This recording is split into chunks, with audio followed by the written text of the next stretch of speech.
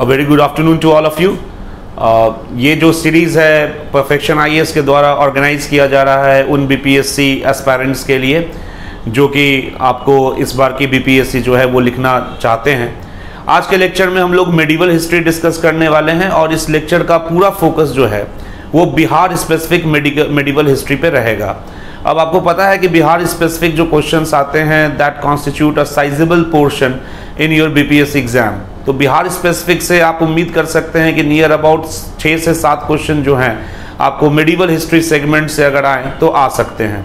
तो आइए डिस्कस करते हैं बिहार स्पेसिफिक मेडिवल हिस्ट्री तो मेडिवल हिस्ट्री जो है मेडिवल हिस्ट्री में हम लोगों को एक इंपॉर्टेंट नाम जो बिहार के कॉन्टेक्स्ट में आता है, वो है आपका बख्तियार खिलजी का, है ना? तो आप देखेंगे कि बख्तियार खिलजी जो है, वो काफ़ी एक इंपॉर्टेंट पर्सनैलिटी है। और बख्तियार खिलजी को क्रेडिट दिया जाता है कि बिहार और बंगाल के आसपास के क्षेत्रों में इस्लाम को प्रचलित करने वाला प्रथम जो शासक था, वो बख्तियार खिलजी था। तो यूँ कहें कि बख्तियार खिलजी के बिहार और बंगाल आक्रमण के बाद इस्लाम और तुर्की सत्ता जो है, वो इन प्रोविंसेस में, बिहार और बंगाल में काफ़ी पॉपुलराइज हुई। अब बख्तियार खिलजी को जानने से पहले कुछ क्वेश्चंस बैकग्राउंड से हम लोग डिस्कस कर लेते हैं। जैसे कि क्या बख्तियार खिलजी ही वो पहला व्यक्ति था जिसको बिहार के लोगों ने पहली बार देखा कि हाँ भाई ये टर्किश है? या यूँ कहे कि क्या बख्तियार खिलजी के आने से पहले कोई टर्किश इन्वेजन भारत में हुआ था या ना हुआ था? या फिर इसको ऐसा कह दे कि क्या बख्तियार खिलजी के आने से पहले बिहार के लोग इस्लामिक इन्वेजन से अवेयर थे कि नहीं? तो बख्तियार खिलजी से पहले भी इस्लामिक इन्वेजन बिहार में होते थे और इसका हमें जो सबूत है, जो साक्ष्य है, वो मनेर कॉपर प्लेट इंस्क्रिप्शन से मिलता है। तो मनेर जैसे कि आपको पता है, पटना के बगल में एक जगह है तो मनेर कॉपर प्लेट इंस्क्रिप्शन जो है, ये हमें आपको जानकारी देता है अबाउट अ पर्टिकुलर टैक्स ये Maner, Maner copper plate inscription जो मनेर में पाया गया है it is what it is a copper plate inscription और इसमें एक टैक्स का ज़िक्र है, जिसका नाम रखा गया है तुरशक डंडा। तो तुरशक डंडा क्या है? तुरशक डंडा एक टैक्स है। ठीक है, जो मनेर के आसपास के लोगों को देना पड़ता था। और ये तुरस्का डंडा जो है, ये टैक्स कौन लेवाई करता था? तो उस समय मनेर का क्षेत्र जो था, वो गहादावाला जो किंग थे, गहादावाला डायनेस्टी है, ठीक है? और गहादावाला किंग जो थे, उनका नाम है आपको गोविंद चंद्र देव तो गोविंद चंद्र देव जो थे, वो मनेर के आसपास के लोगों से टैक्स लेते थे, जो कि है तुरसक डंडा। और ये टैक्स लिया जाता था गहादावाला किंग के द्वारा, गोविंद चंद्र देव के द्वारा, कि टर्किस लोग मतलब इस्लामिक लोग जब अटैक करें बिहार को तो उनसे लड़ने के लिए आपको फौज चाहिए होगी। तो वो जो खर्चा निकलेगा टर्किस के अटैक से जो पैसा होना चाहिए, जिससे कि लोग लड़ सके। तो वही टैक्स को कहते हैं तुरसक डंडा। तो तुरसक डंडा डंडा क्या था?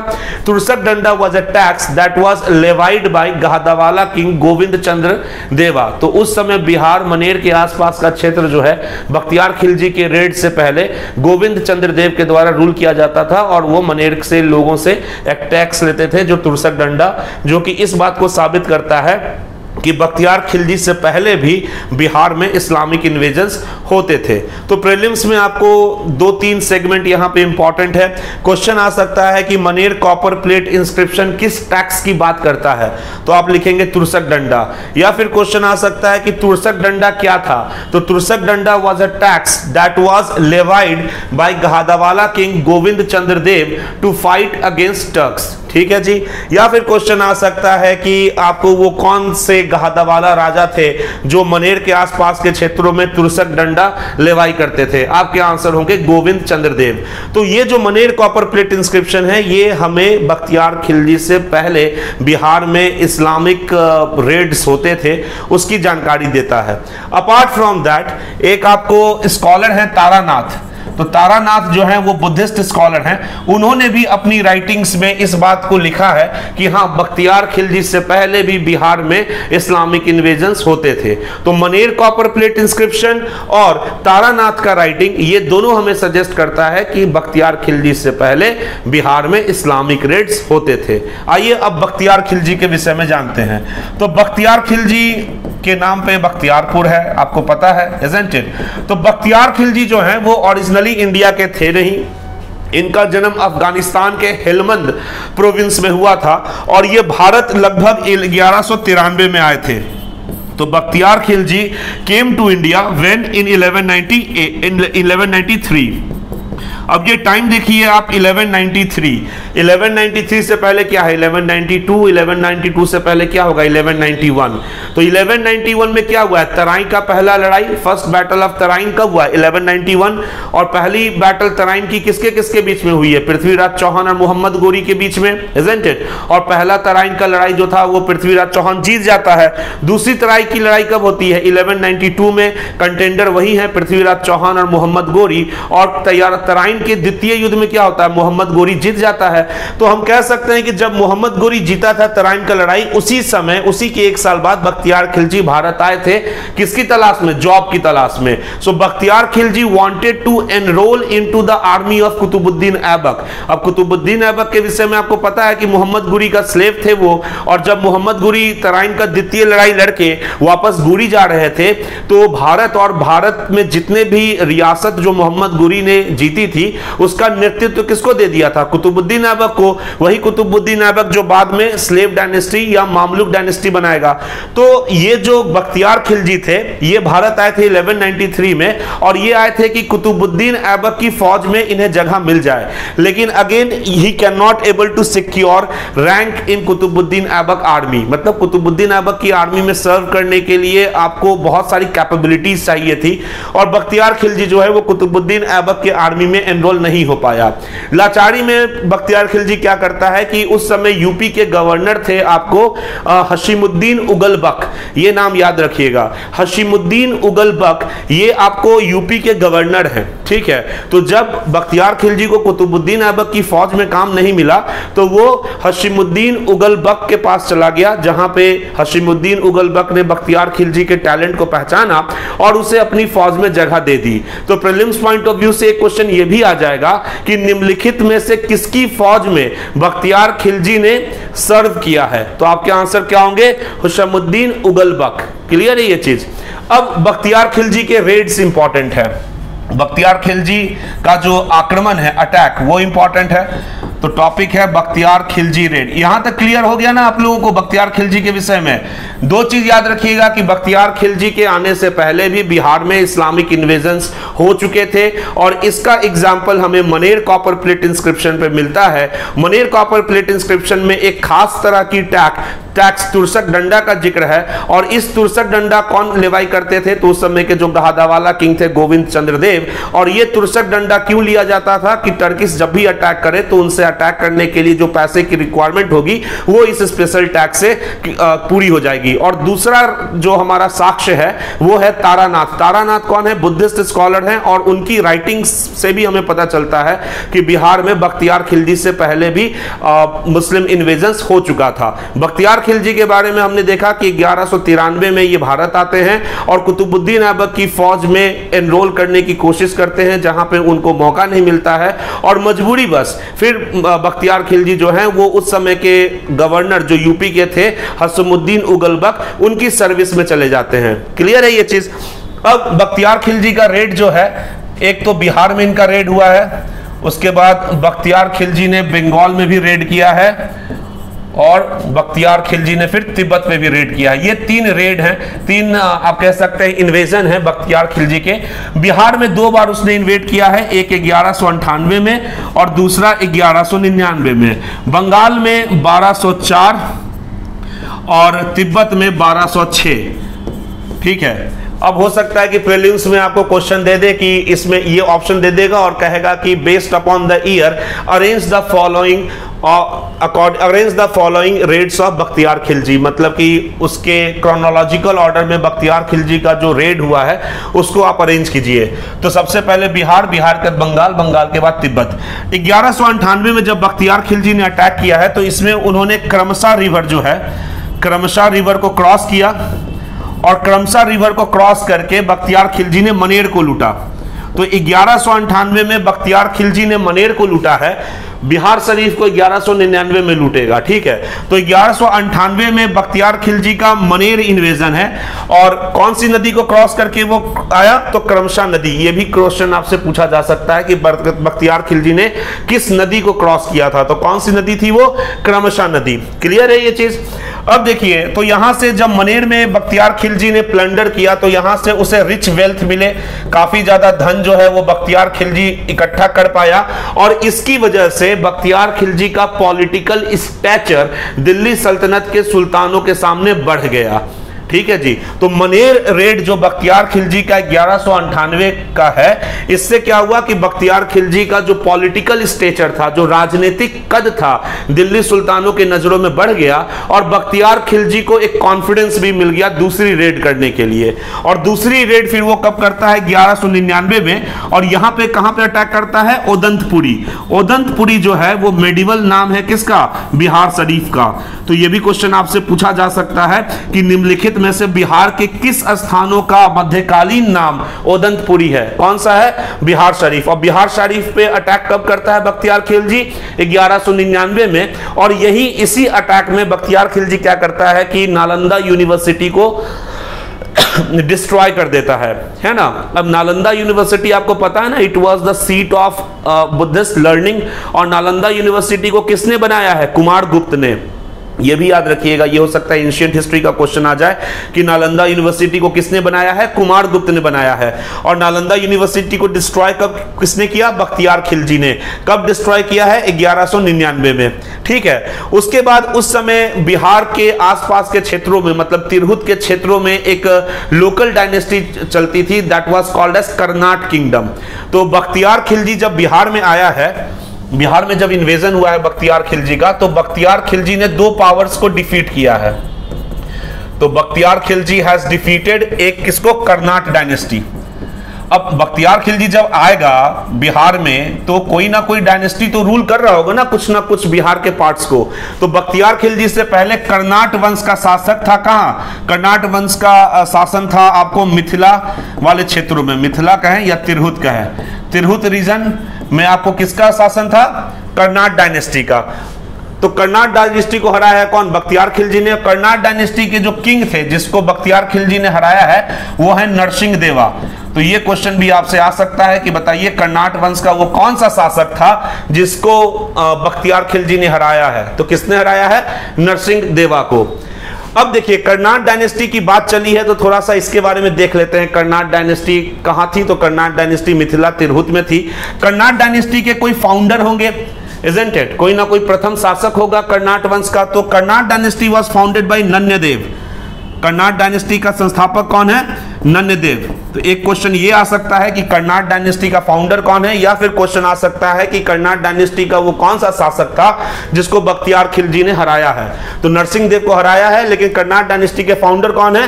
नन्यदेव। और ये जो कर्नाट डायनेस्टी है, ये आपको चला है एक से लेकर ग्यारह तक।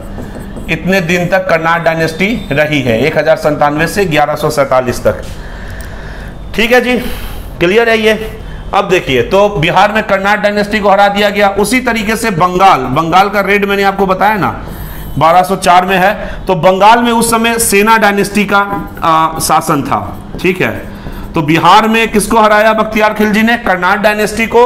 और बंगाल के रेड में बख्तियार खिलजी ने किसको हटाया? सेना डायनेस्टी को। और उस समय के जो सेना किंग थे मतलब इस वंश का कौन सा राजा होगा जब उसको बख्तियार खिलजी ने हराया होगा? तो ये है आपको लक्ष्मण सेन फ़र्स्ट। लक्ष्मण सेन फ़र्स्ट। तो सेना डायनेस्टी जो है वो कहाँ ऑपरेट करती थी? बंगाल में ऑपरेट करती थी और सेना डायनेस्टी के किस शासक को बख्तियार खिलजी ने अपने रेड में हराया है? लक्ष्मण सेना फ़र्स्ट। अब सेना डायनेस्टी का बात चढ़ा है तो क्वेश्चन हो सकता है कितना ना पूछ के सेना डायनेस्टी से पूछ दे कि सेना वंश जो था वो निम्नलिखित में से भारत के किस क्षेत्र में था? तो बंगाल। और सेना डायनेस्टी के भी कोई फाउंडर होंगे? जिस तरीके से कर्नाट डायनेस्टी के फाउंडर नन्यदेव हैं तो सेना डायनेस्टी के जो फाउंडर हैं, वो हैं समानता सेन। ठीक है Samanta Sen. Samanta Sen is the founder of which dynasty Sena dynasty. Samanta Sen के बाद आपको हिमांता सेन आएँगे। हिमांता सेन के बाद विजया सेन आएँगे। विजया सेन के बाद बलाल सेन है। बलाल सेन के बाद लक्ष्मण सेन है। लक्ष्मण सेन के बाद विश्वरूपम सेन है और विश्वरूपम सेन के बाद लक्ष्मण सेन टू है। तो लक्ष्मण सेन द्वितीय जो हैं, वो सेन वंश के लास्ट रूलर हैं। तो लक्ष्मण सेन फ़र्स्ट और लक्ष्मण सेन सेकेंड दोनों इंपॉर्टेंट है। अगर क्वेश्चन आ गया कि सेना वंश के लास्ट शासक कौन है, तब लक्ष्मण सेन सेकंड और अगर क्वेश्चन आया कि सेन वंश का वो कौन सा शासक था जिसको बख्तियार खिलजी ने हराया है 1204 में? तो वो कौन है? लक्ष्मण सेन फ़र्स्ट। और सेना डायनेस्टी के फाउंडर कौन है? समानता सेन। तो चलिए, बहरहाल हमने ये डिस्कस किया अभी तक कि ग्यारह में बख्तियार खिलजी का प्रथम रेड होता है बिहार में, मनेर में। ग्यारह में बिहार शरीफ द्वितीय रेड होता है बख्तियार खिलजी का। कहा?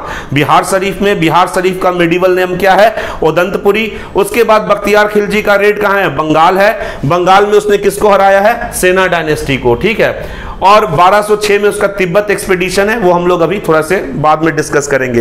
तो करनाट डायनेस्टी, सेना डायनेस्टी, ये इंपॉर्टेंट है। कर्मशा नदी, जो मैंने बताया, वो इंपॉर्टेंट है। आइए बख्तियार खिलजी का तीसरा रेड हम लोग देखते हैं। तो तीसरा रेड जो बख्तियार खिलजी का है, वो किसमें है? तिब्बत में। और तिब्बत में बख्तियार खिलजी का रेड कब है? 1206 में। ठीक है? तो अब देखिए, बख्तियार खिलजी क्या करता है कि बख्तियार खिलजी का कैपिटल उसने कहा बनाया? जब ये हरा दिया बिहार के कर्नाट राजाओं को और सेना राजाओं को उसने जब अपने अधीन कर लिया तो बहुत सारी सूबा जो थी वो बख्तियार खिलजी के अब अंदर आ गई। तो बख्तियार खिलजी का खिलजी का जो कैपिटल था, वो कहाँ था आपको? तो लखनौती, जिसका पुराना नाम है लक्ष्मण बटी इजेंट इट तो लखनौती जो था, वो कैपिटल था किसका? बख्तियार खिलजी का। यहाँ लिख सकते हैं, लखनौती। तो बख्तियार खिलजी ने क्या किया 1206 में कि बख्तियार खिलजी बंगाल से मूव किया कहाँ जाने के लिए? तिब्बत जाने के लिए। ठीक है, क्योंकि उसको तिब्बत कैप्चर करना था। और बंगाल में उसने अपने ट्रस्टेड लेफ्टिनेंट जो भरोसा का आदमी था, अली मर्दान खिलजी, उसको रख दिया कि भाई, हम जा रहे हैं तिब्बत पे अटैक करने के लिए। तब तक बंगाल का सूबा जो है, वो तुम संभालो। तो बंगाल में किसने बख्तियार खिलजी ने किसको रख दिया? अली मर्दान खिलजी को। अली मर्दान खिलजी जो था, वो ट्रस्टेड लेफ्टिनेंट था बख्तियार खिलजी का। और बख्तियार खिलजी को कहाँ चला गया? तिब्बत। वक्त कौन सा है? 1206 लेकिन ये जो तिब्बत एक्सपेडिशन जो हुआ बख्तियार खिलजी का दैट वॉज़ अ फेलियोर ठीक है, इसमें काफ़ी ज़्यादा लॉसेस बख्तियार खिलजी को फेस करने पड़े। क्यों? बिकॉज़ ऑफ़ पहला रीजन तो ये रफ टेरेन अब तिब्बत का क्षेत्र देखिए, तिब्बत का क्षेत्र पहाड़ी क्षेत्र है। उससे जो बख्तियार खिलजी के फौज थे, वो इतनी पथरीली जगहों से फैमिलियर नहीं थे तो जिसके कारण बख्तियार खिलजी को हेवी लॉस सहना पड़ा और फाइनली फिर 1206 में बख्तियार खिलजी वापस बंगाल आ जाते हैं, जहाँ पे बख्तियार खिलजी को नींद में अली मर्दान खिलजी मार देता है। तो बख्तियार खिलजी का डेथ कब है? बख्तियार खिलजी का डेथ भी 1206 में है, जब बख्तियार खिलजी तिब्बत के फेल्यूर कैंप कैंपेन से वापस आता है तो नींद में अली मर्दान खिलजी, बख्तियार खिलजी को मार देता है। तो बख्तियार खिलजी के बाद अब कौन बनेगा बिहार और बंगाल के पार्ट का कमांडर? तो अली मर्दान खिलजी। लेकिन ये बहुत कम टाइम तक रह पाता है अली मर्दान खिलजी, क्योंकि अगेन, बख्तियार खिलजी के भी नोबल्स होते थे। वो लोग क्या करने लगे कि अली मर्दान खिलजी के खिलाफ प्लॉटिंग करने लगे और अली मर्दान खिलजी को हटा के एक नया रूलर जो है वो बनता है that is your Shiran Khilji. ठीक है? तो बख्तियार खिलजी के बाद ब्रीफ टाइम तक कौन बना? आपको गवर्नर अली मर्दान खिलजी, अली मर्दान खिलजी के बाद कौन बना? सिमरन शिरान खिलजी। ठीक है जी? अब आगे डिस्कस करने से पहले मैं चाहता हूँ कि आप रिलेशन समझिए कि दिल्ली के सुल्तान और जो ये सब बख्तियार खिलजी, ये सब डिस्कस कर रहे हैं, इनका क्या रिलेशन होता था? देखिए, दिल्ली में तो एक सुल्तान बैठते थे। इट जो दिल्ली सल्तनत आप लोग पढ़ेंगे नेशनल पर्सपेक्टिव में तो उसमें आप पढ़ेंगे दिल्ली सल्तनत में डायनेस्टी है स्लेव डायनेस्टी है। स्लेव के बाद आपको खिलजीज आते हैं, खिलजीज के बाद तुगलक्स आते हैं, तुगलक के बाद सैयद आते हैं, सैयद के बाद लोदीज आते हैं। तो टोटल पाँच डायनेस्टी के समूह को मिला के हम लोग दिल्ली सल्तनत कहते हैं। तो ये तो डायनेस्टी वो थी जो दिल्ली पे बैठे बैठे पूरे भारत को रूल करती थी। अब ये जो बख्तियार खिलजी जैसे लोग थे, ये सब बहुत मतलब इतने ज़्यादा इंपॉर्टेंट नहीं होते थे दिल्ली सुल्तान के लिए। तो इसलिए तो बख्तियार खिलजी आया था। किसकी सर्विस में सर्विस करने के लिए? कुतुबुद्दीन ऐबक के यहाँ, लेकिन उसको वहाँ जगह नहीं मिली थी। तो जब ऐसा होता था तो ये जो ट्राइबल्स होते थे, कि देखिए ये खिलजीज हैं इजेंट ये भी उसी समय आएँगे भारत जब टर्क्स आए होंगे। इजंट इट लेकिन स्टार्टिंग फ़ेज़ में क्या हुआ? स्लेव डायनेस्टी अगर आप बात करेंगे तो स्लेव डायनेस्टी में क्या होता था कि जितने भी इंपॉर्टेंट गवर्नमेंट पोस्ट होते थे या जो भी इंपॉर्टेंट एडमिनिस्ट्रेटिव अथॉरिटी होती थी वो टर्किस जो होते थे सिर्फ़ तुर्कों को देते थे।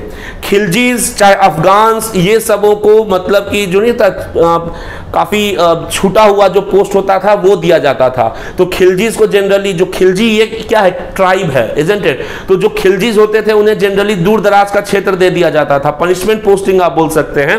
तो किसी बॉर्डर एरिया में भेज दिया गया और बॉर्डर एरिया में क्या होगा? बॉर्डर एरिया में हमेशा कॉन्फ्लिक्ट चलते रहेगा।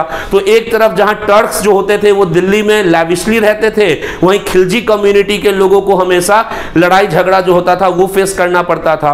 तो उसी तरीके से बख्तियार खिलजी को भी एबक के टाइम पीरियड पे सर्विस तो मिली नहीं थी।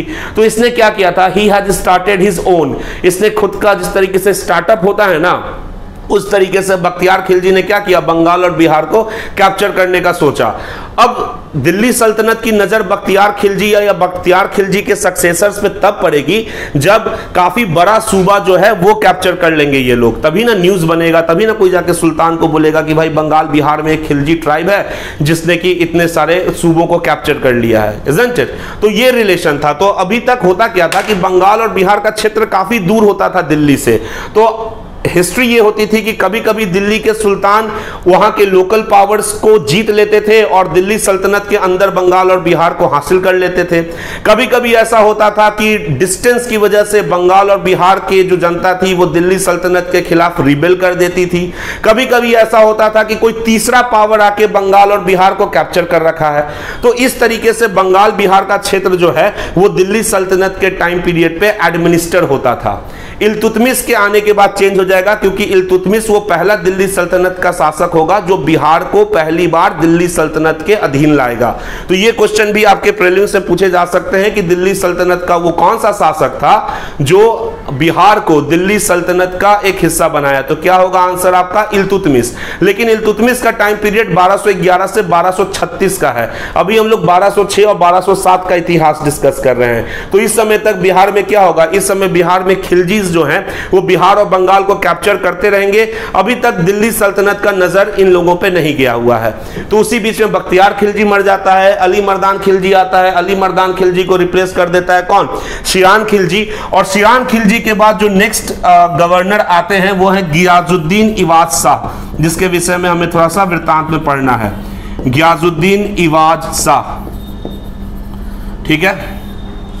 तो गियाजुद्दीन इवाज शाह के बारे में डिस्कस करते हैं हम लोग। तो गियाजुद्दीन इवाज शाह जो था, गियाजुद्दीन इवाज शाह, ये बिहार एंड बंगाल का इंडिपेंडेंट गवर्नर बना 1200 12 में 1200 12 में, ठीक है?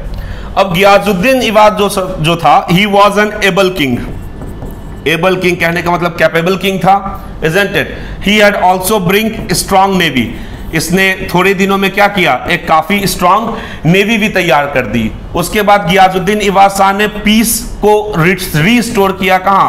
बंगाल एंड बिहार में। Peace was restored in Bengal and Bihar अब ये जो एक्टिविटी है गियाजुद्दीन शाह की इसने अलार्म अलार्म मतलब खतरे की घंटी बजाई। किसको? दिल्ली सल्तनत के सुल्तानों में। और उस समय जो दिल्ली सल्तनत का रूलर था, वो था आपको इलतुतमिस। ठीक है?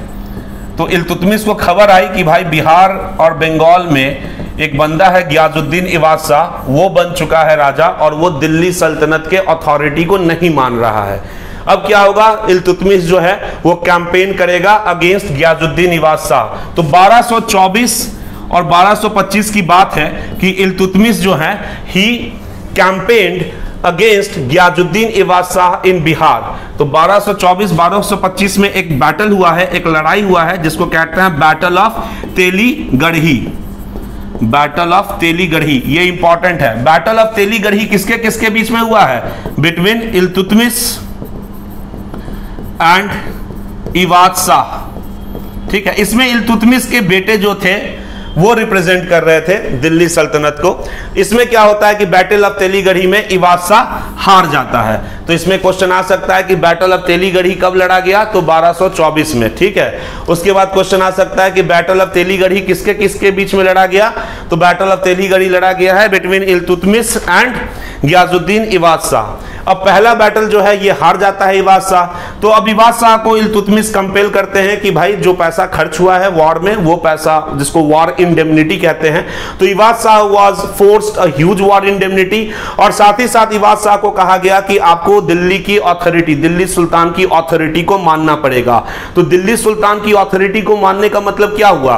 कि दिल्ली सुल्तानों के नाम से आप अपने सिक्के स्ट्रक कीजिए, सिक्के खुदवाइए, जो भी सिक्के अब आप सर्कुलेट कराएँगे, उसमें दिल्ली सुल्तान का भी नाम रहना चाहिए। और साथ ही साथ रेगुलरली जो पैसा होता है, जो टैक्स होता है, वो दिल्ली भेजते रहिए। ये डील साइन हुआ और ये जो थे आपको इवासा इस चीज़ को मान लिए। लेकिन जैसे ही इलतुतमिस वापस गया दिल्ली कि इवासा फिर से रिबेल हो गया, ठीक है? तो 1224-25 में बैटल ऑफ़ तेलीगढ़ी में हार गया इवाज शाह और शाह कौन है? अभी इंडिपेंडेंट गवर्नर है बिहार एंड बंगाल का। जब हार जाता है शाह तो इसको इलतुतमिस एक्सेप्ट करता है कि ठीक है, तुम मतलब दिल्ली सल्तनत के अधीन हो जाओ। दिल्ली सल्तनत को रेगुलरली पैसा पहुंचाते रहो और दिल्ली मतलब दिल्ली सुल्तान का जो नाम है, वो अपने सिक्कों पे स्ट्रक कराओ। इवाद शाह मान जाता है, लेकिन जैसे ही इलतुतमिस वापस दिल्ली जाता है कि इवाद शाह फिर से बागी हो जाता है, और एक बार फिर इलतुतमिस 1226 में इवाद शाह के खिलाफ मिलिट्री एक्सपेडिशन करता है। तो 1226 में फिर गयाजुद्दीन इवाद शाह और इलतुतमिस के बीच में लड़ाई होती है, और फिर से इवाद शाह हार जाता है, लेकिन इस बार इवाद शाह को पकड़ के मृत्यु दंड दे दिया जाता है। ठीक है जी। अब इवाज शाह को मार दिया गया 1226 में किसके द्वारा? इल्तुतमिश के द्वारा। अब बिहार का जो सूबा था, वो डायरेक्ट दिल्ली सल्तनत के अधीन आ गया। तो इसीलिए मैंने आपसे बोला था कि क्वेश्चन आ सकता है पीटी में कि दिल्ली सल्तनत का वो कौन सा सुल्तान था जिसने बिहार को पहली बार दिल्ली सल्तनत का भाग बनाया? तो वो कौन था? इल्तुतमिश अब इल्तुतमिश के हाथों में जब बिहार आ गया तो ऑब्वियसली अब जो गवर्नर्स होंगे, जो बिहार में अपॉइंट होंगे, वो किसके गवर्नर होंगे? दिल्ली सल्तनत सल्तनत के गवर्नर होंगे। है कि नहीं जी? क्योंकि अब बिहार किसके हाथ में आ गया है? डायरेक्टली तुलतमिस के हाथ में आ गया है। और कैसे आ गया है? क्योंकि उसने इवासा को हराया है। ठीक है जी? इल्तुतमिस के बारे में एक चीज़ और याद कर लीजिए, ये दिल्ली सल्तनत में एक्चुअली पढ़ाया जाता है जब हम लोग नेशनल पर्सपेक्टिव डिस्कस करते हैं। इल्तुतमिस के बारे में आपको तो पता ही है ना कि कुतुबुद्दीन ऐबक का स्लेव था ये। इल्तुतमिस का टाइम पीरियड 1211 से 1236 तक है। इल्तुतमिस ने राजधानी शिफ्ट की थी फ्रॉम लाहौर टू दिल्ली कुतुबुद्दीन ऐबक के टाइम पीरियड में राजधानी लाहौर थी। वो इल्तुतमिस था जिसने पहली बार राजधानी को लाहौर से दिल्ली शिफ्ट किया था। तो ये सब कुछ इंपॉर्टेंट इल्तुतमिस से रिलेटेड है, जो हम लोग नेशनल पर्सपेक्टिव में डिस्कस करते हैं। हालाँकि ये लेक्चर बिहार स्पेसिफिक है, लेकिन इल्तुतमिश की बात चली तो मैंने आपको ये सब चीज़ बताया। एनीवेज तो 1226 तक आते आते हम लोग क्या देखते हैं कि 1226 तक आते आते बिहार जो है, वो दिल्ली सल्तनत का एक सूबा बन जाता है, और इल्तुतमिश प्रथम गवर्नर जो अपॉइंट करता है, वो है अल्लाउद्दीन जानी। तो अब इल्तुतमिश क्या करेगा कि governors Iltutmish appoint will appoint governor governor of Bihar और प्रथम गवर्नर ऑफ़ बिहार जो तुतमिस ने अपॉइंट किया, वो कौन थे? अलाउद्दीन जानी। अलाउद्दीन जानी। ये क्वेश्चन भी आपसे आ सकता है कि अलाउद्दीन जानी किस दिल्ली सुल्तान के द्वारा बिहार का गवर्नर बनाया था, गया था? तो इल्तुतमिस अलाउद्दीन जानी के बाद कौन आएँगे? सैफुद्दीन ऐबक। ये आपको माइनर है, ये आपको पढ़ना नहीं है। लेकिन बात चल रहा है, सैफुद्दीन ऐबक तो मैंने बता दिया। यहाँ पे इंपॉर्टेंट अलाउद्दीन जानी है। उस सैफुद्दीन ऐबक के बाद आते हैं तुगरिल तुघान। तुगरिल तुघान खान, ये भी इंपॉर्टेंट है। नेक्स्ट गवर्नर जो आपके बिहार के हैं। देखिए, होता यह था कि गवर्नर्स तो ये दिल्ली सल्तनत वाले अपने रख देते थे, लेकिन मोर और लेस गवर्नर्स जो बिहार और बंगाल के होते थे, वो ऑटोनमस काम करते थे। क्यों? क्योंकि दूरी बहुत थी बिहार और बंगाल की दिल्ली से। तो दिल्ली के सुल्तानों के लिए ये पॉसिबल नहीं होता था कि वो माइन्यूट डिटेल्स को चेक कर पाए हर दिन। तो इसीलिए गवर्नर्स तो दिल्ली सुल्तान रखते थे, लेकिन मोर और लेस क्या होता था कि ये जो गवर्नर्स होते थे, ये अपने सूबों में इंडिपेंडेंटली काम करते थे। तो एक तीसरे गवर्नर है तुगरिल तुगान खान, और तुगरिल तुगान खान के बारे में इंपॉर्टेंट है कि he has fought battle with Balban. Balban के साथ इसकी लड़ाई हुई थी। बलबन, आपको पता है, ये स्लेव डायनेस्टी से रिलेटेड है। ग्याजुद्दीन बलबन का टाइम पीरियड है 1246 से 1286 है ना? जिसमें 1246 से 1266 20 साल तक Balban has served as a नाइब। नाइब एक पोस्ट होता था तो 1246 से 1266 तक बलबन जो है, वो राजा नहीं है, लेकिन किंग मेकर है। तो 1246 से 1266 तक Balban has served as a naib to Nasiruddin Mahmud. ठीक है तो नासुरुद्दीन महमूद जो है वो आपको इल्तुतमिस के बेटे थे, जो रजिया सुल्तान के बाद आपको किंग बने थे, उसको सर्व करता है।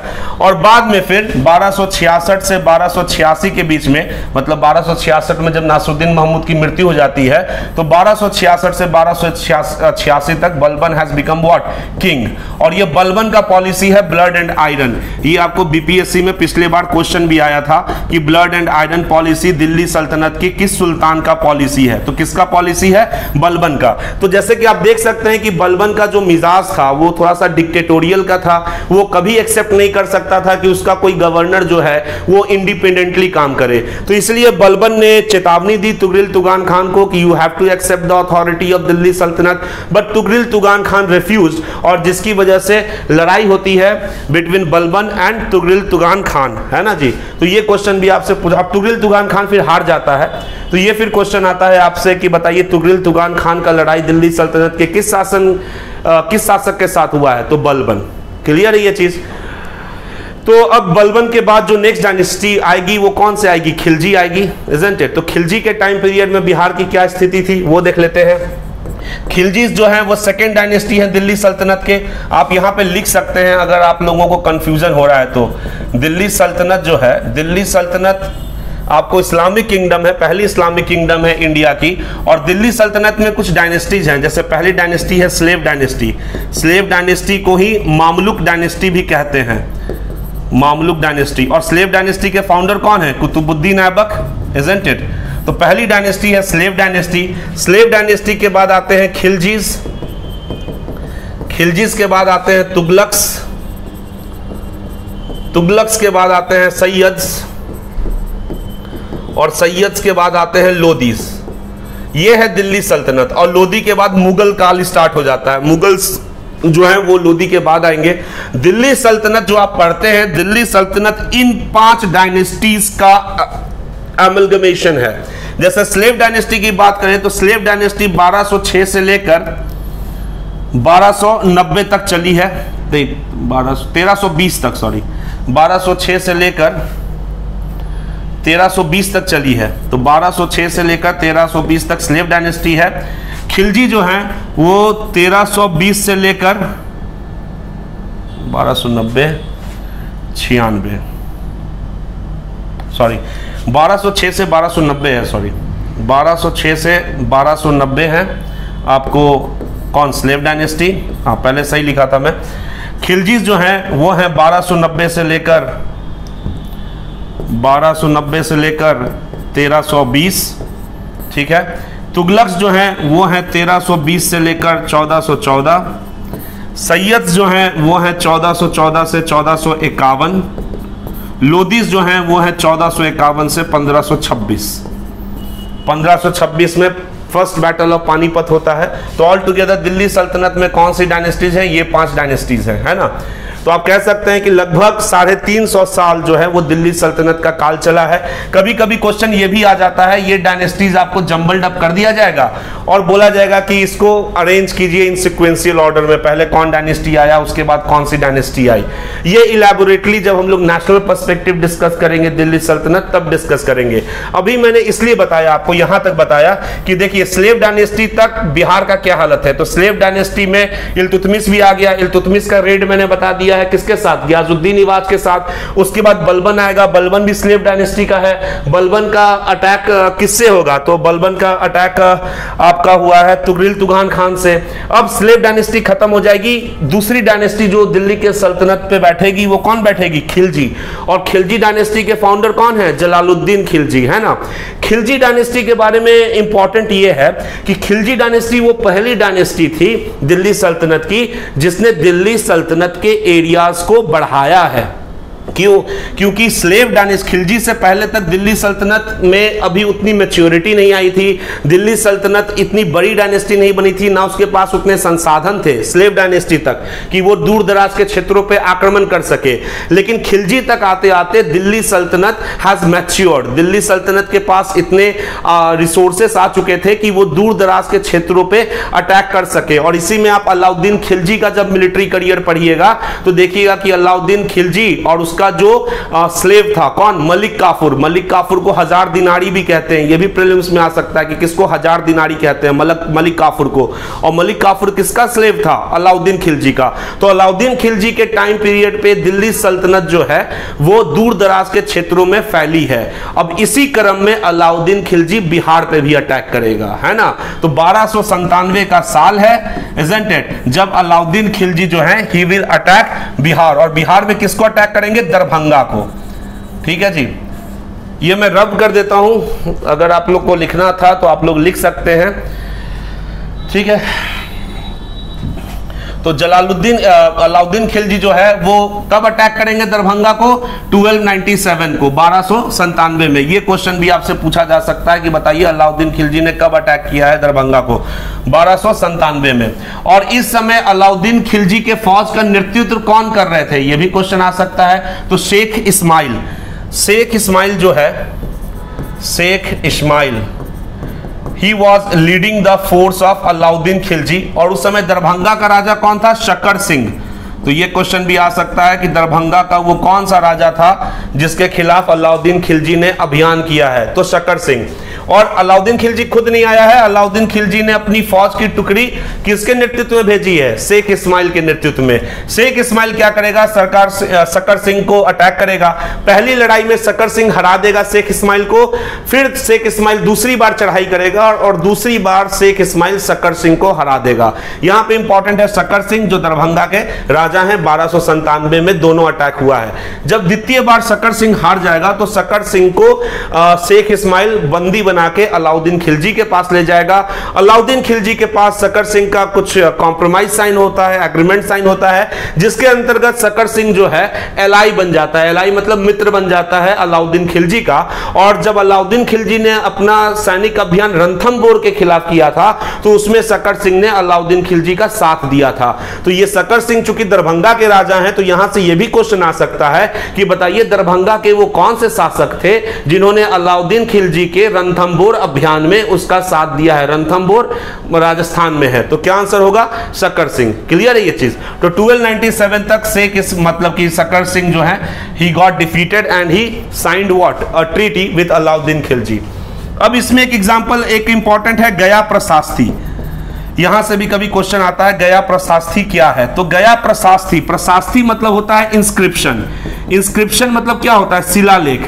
तो इंस्क्रिप्शन का हिस्ट्री में डेफिनेशन ही है कि any writing on the hard surface is called as inscription किसी भी ठोस वस्तु पर लिखी गई चीज़ों को शिलालेख कहते हैं. अब ये ठोस वस्तु कॉपर प्लेट हो सकता है, ये ठोस वस्तु कोई चट्टान हो सकता है, ये ठोस वस्तु कोई भी पिलर हो सकता है. तो अशोका का भी देखे ना, पिलर इंस्क्रिप्शन मनेर में देखे कॉपर प्लेट इंस्क्रिप्शन तो इंस्क्रिप्शन क्या होता है? किसी भी ठोस वस्तु पर लिखी गई चीज़ को हम लोग शिलालेख कहते हैं ना तो इंस्क्रिप्शन क्या है? Any writing on the hard surface is called as inscription और गया में एक इंस्क्रिप्शन मिलती है, जिसको कहते हैं गया प्रशास्थी और गया प्रशास्थी जो है, उस समय के गया के राजा थे वनराज। उनकी इंस्क्रिप्शन है। तो ये क्वेश्चन भी आ सकता है कि गया प्रशास्थी में हमें गया के किस राजा के विषय में पता चलता है? तो वनराज। और इस गया प्रशास्त्री में यह बताया गया है कि बलबन के टाइम पीरियड में, बलबन मतलब इनसे पहले, अलाउद्दीन खिलजी से पहले, बलबन के टाइम पीरियड में गया का आसपास का क्षेत्र जो है, वो दिल्ली सल्तनत का हिस्सा था। ठीक है?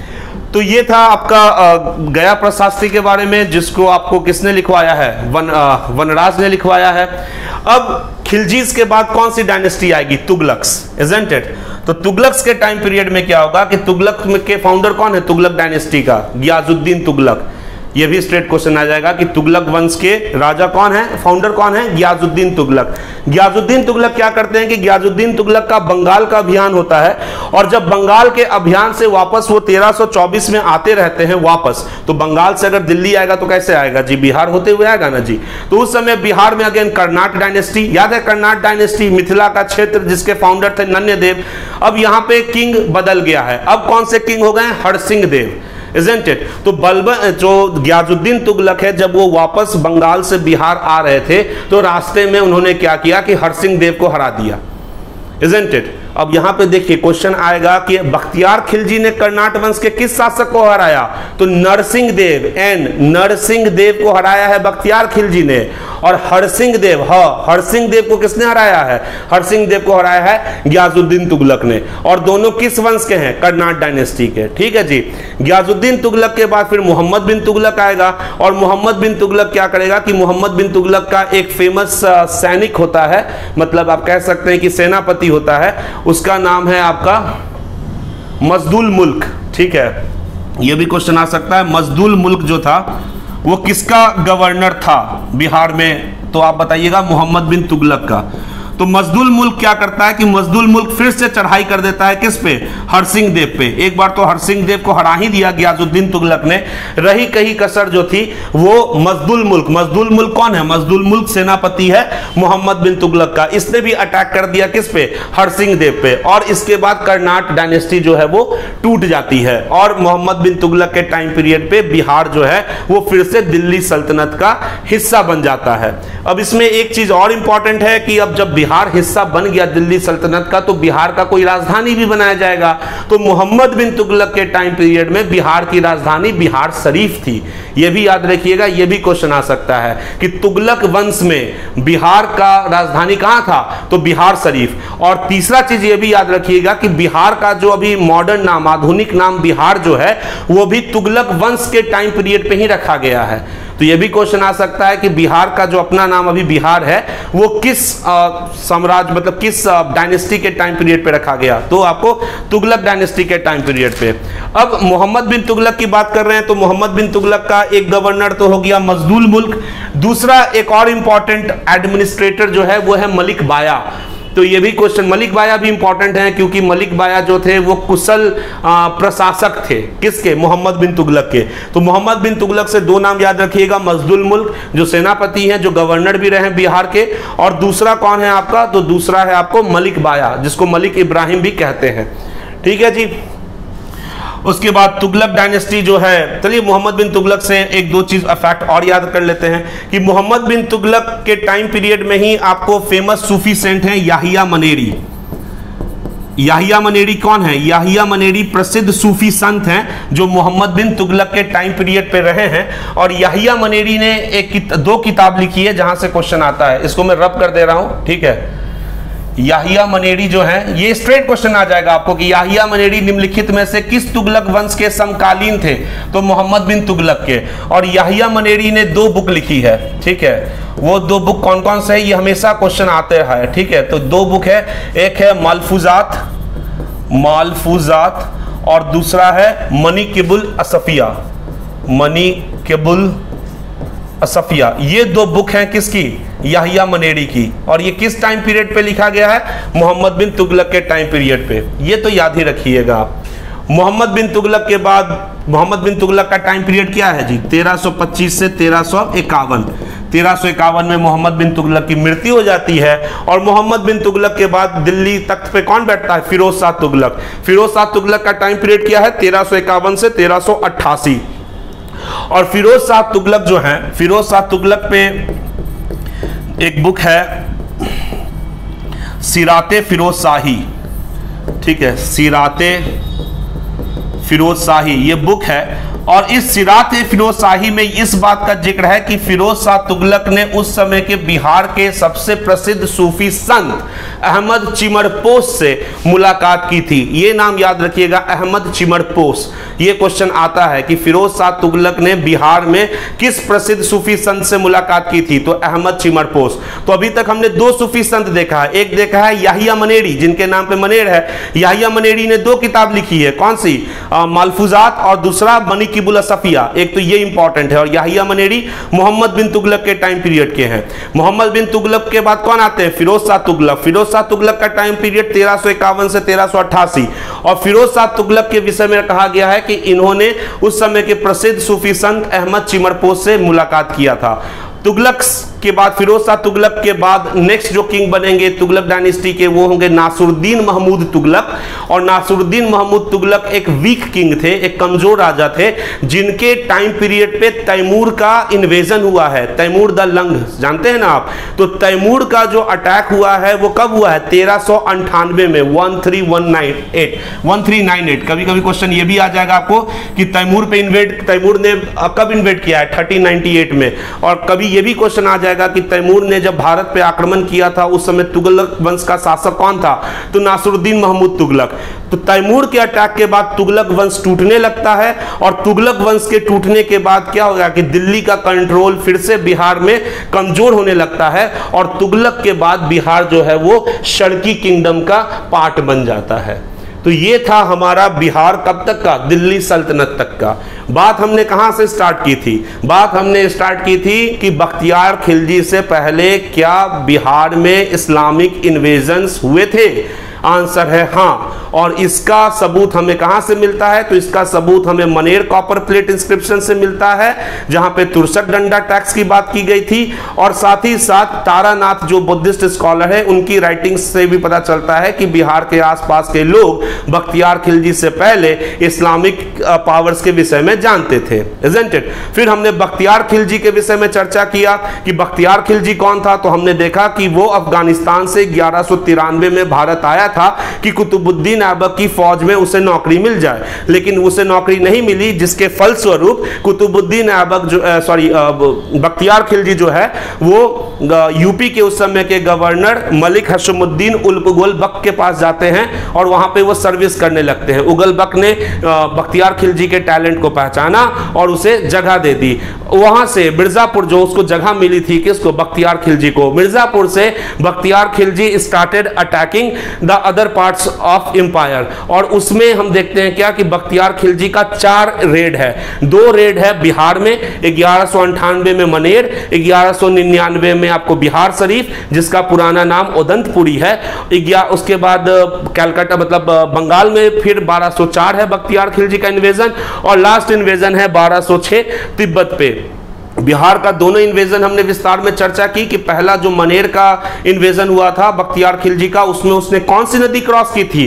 क्रमशा नदी क्रॉस की थी एजेंटेड और मनेर को लूटा था। मनेर को लूटने के बाद बख्तियार खिलजी का राजनीतिक कद दिल्ली सल्तनत में और बढ़ गया था और उसको और कॉन्फिडेंस मिला फिर से अटैक करने के लिए और फिर एक साल बाद ग्यारह में बख्तियार खिलजी अटैक करता है किसको? उदंतपुरी को। उसके बाद बंगाल का भी मैंने देखा कि बंगाल में उसने किस डायनेस्टी को हराया? सेना डायनेस्टी को हराया। सेना डायनेस्टी पे भी हमने चर्चा कर दी कि सेना डायनेस्टी के फाउंडर कौन थे? समानता सेन। लेकिन जब अटैक हुआ था बख्तियार खिलजी पे तो उस समय सेन वंश के शासक कौन थे? तो लक्ष्मण सेन फ़र्स्ट उसी तरीके से जब बख्तियार खिलजी ने बिहार में अटैक किया था तो उस समय तिरहुत में कौन सी डायनेस्टी चल रही थी? तो कर्नाट डायनेस्टी। कर्नाट डायनेस्टी के फाउंडर कौन थे? नन्य देव और कर्नाट डायनेस्टी के किस शासक को बख्तियार खिलजी ने हराया था? तो कौन से राजा थे वो? नरसिंह देव है ना जी? तो ये सब हमने देखा, फिर देखा कि बख्तियार खिलजी के, का मर्डर हो जाता है और अब बख्तियार खिलजी का यही कंट्रीब्यूशन था कि उसने बिहार और बंगाल के आसपास के क्षेत्रों को यूनिफाई किया और अपने कबीले के लोग जो थे उसके, वो इस क्षेत्र को रूल करने लगे। अभी तक दिल्ली सल्तनत का डायरेक्ट कंट्रोल नहीं है। सिर्फ़ दिल्ली सल्तनत के राजा को पता है कि बिहार, बंगाल का क्षेत्र है, इसमें कुछ लोकल पावर्स रूल कर रहे हैं। तो पॉलिटिकल राजनीतिक स्थिति अगर आप देखिएगा भारत का, आरंभिक दिल्ली सल्तनत के काल में तो एक तो दिल्ली सल्तनत है जो कि सेंट्रल अथॉरिटी डायनेस्टी है। साथ ही साथ दिल्ली सल्तनत में अभी तक स्लेव डायनेस्टी के टाइम तक पूरा भारत नहीं आ गया है उनके अधीन। भारत के बहुत सारे ऐसे सूबे हैं जो दिल्ली सल्तनत से अलग हैं, लेकिन वहाँ पे कोई ना कोई लोकल राजा रूल कर रहा है। तो उसी क्रम में बख्तियार खिलजी और बख्तियार खिलजी के सक्सेसर्स भी हैं। और उसी में फिर हमने देखा है ग्याजुद्दीन इवाज के विषय में कि ग्याजुद्दीन इवाज जो है वो काफ़ी अपने लिए नाम बना लेता है बिहार और बंगाल के क्षेत्र में।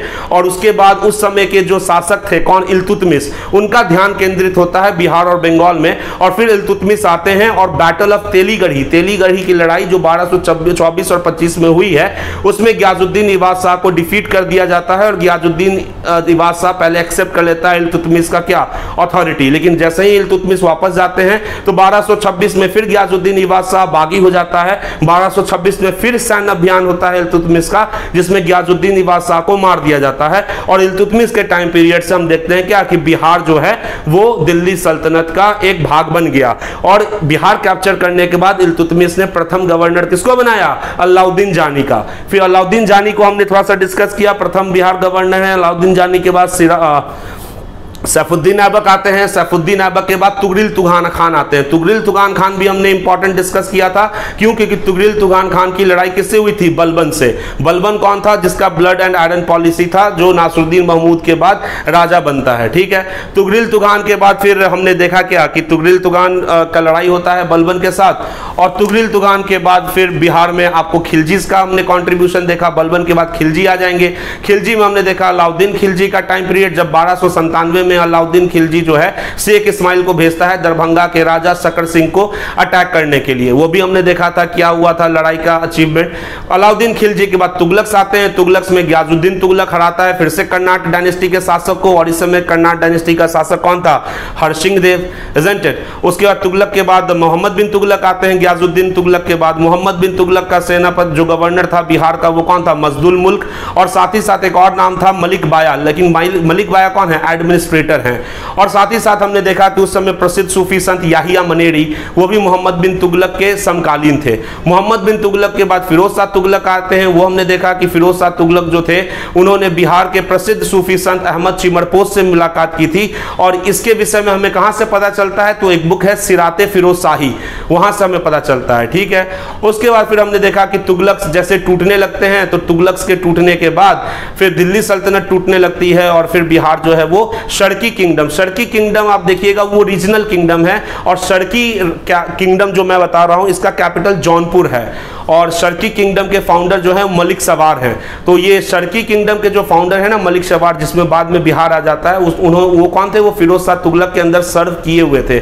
मतलब नोबल थे फिरोज शाह तुगलक के। जब दिल्ली सल्तनत, तुगलक सल्तनत कमज़ोर होने लगी तो वो तुगलक वंश को छोड़ के ईस्ट साइड में अपने लिए एक सेपरेट किंगडम बना लेते हैं। तो ये भी क्वेश्चन आपसे आ सकता है कि सरकी डायनेस्टी के किंग कौन थे? तो मलिक सवार जो है वो फाउंडर है। तो ये जो लेक्चर था, ये डिस्कस करने का यही मतलब था कि दिल्ली सल्तनत में जैसे जैसे सल्तनत चेंज हुई है डायनेस्टी चेंज हुई है, वैसे वैसे बिहार पे भी उसका राजनीतिक प्रभाव पड़ा है। क्वेश्चन आपके इस लेक्चर से बहुत सारे आने वाले हैं। ये जो लेक्चर मैं बताया हूँ, इसके आप नोट्स बना लीजिए। बिहार स्पेसिफिक या फिर कोई भी स्टेट स्पेसिफिक एग्ज़ाम्स में जनरली जो क्वेश्चन होते हैं, वो स्ट्रेट होते हैं। ठीक है? जैसे कि फिरोज शाह तुगलक ने किस सूफी संत से मुलाकात की? मनिकिबुल असफिया किस सूफी संत की रचना है? उसके बाद मजदूल मुल्क जो थे वो किस तुगलक वंश के गवर्नर थे? वगैरह वगैरह, इस टाइप का।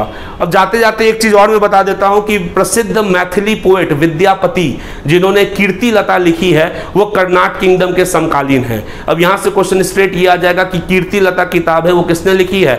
विद्यापति ने लिखी है। तो आप देख सकते हैं इस पूरे लेक्चर में हम लोगों ने बख्तियार खिलजी से लेकर तुगलक वंश तक बिहार में क्या क्या इंपॉर्टेंट चेंजेस आए हैं। प्रसिद्ध गवर्नर कौन थे? बिहार के बैटल ऑफ़ तेलीगढ़ी ये सब डिस्कस किया। यहाँ से आपके बिहार स्पेसिफिक के क्वेश्चन बनने लगेंगे। All the best to all of you happy preparation thank you